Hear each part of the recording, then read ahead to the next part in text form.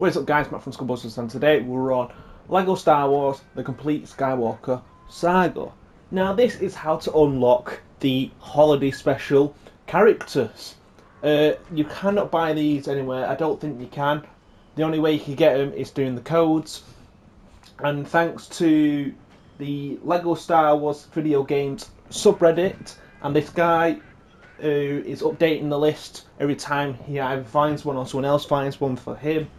He's called I don't I don't know how to pronounce his name, but I'm going to put it right here on the screen. But anyway, as you can see, I've got Darth Vader Holiday Special and C3PO Special. I'll put them codes on the finger.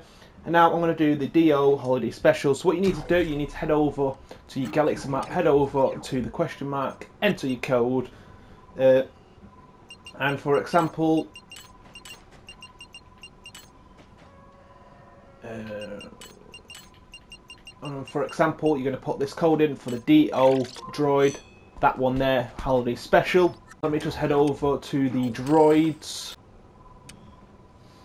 Okay, I got a little bit confused. I didn't know what it was. It came under extra.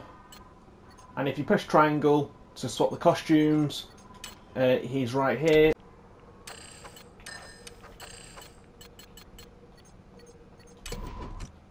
And there we go. Right, this is for the GN key, the Gonk droid. This is for Itcher. Chewbacca, holiday special. This is for Poe. And that's where we are with the, the holiday specials at the moment in time. But I will keep updating the list in the comments and the pinned comments.